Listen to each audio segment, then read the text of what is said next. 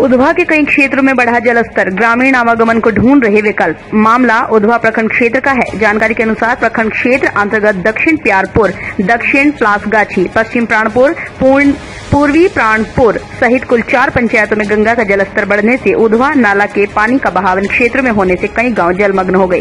स्थानीय लोग जिस सड़क मार्ग एक छोर से दूसरे छोर पहुँचते हैं, उन सड़कों पर मानो छोटी नदी बन गई। जलस्तर इतना बढ़ गया, स्थानीय लोगों को नाव का सहारा लेना पड़ रहा है। वहीं स्थानीय लोगों द्वारा आवागमन के लिए अपनी सुविधा अनुसार बाँस की पुलिया का निर्माण किया गया। आप स्क्रीन पर देख पा रहे होंगे किस प्रकार स्थानीय ग्रामीण आवागमन सहित बाइक चालक इस पुलिया के माध्यम से जान जोखिम में डाल एक जगह से दूसरी जगह जाने को विवश हैं। वो इस पूरे मामले को लेकर स्थानीय प्रशासन भी समस्या का समाधान अविलंब हो। इसे लेकर अपने स्तर ऐसी कार्य कर रही है। ब्यूरो चीफ आनंद भगत के साथ तापोज गांगुली की रिपोर्ट। दान निर्माण का भरोसा, लाल स्टील टीएमटी बार्स हर निर्माण के लिए उपयोग, लाल स्टील टीएमटी बार्स रिश्ता, मजबूती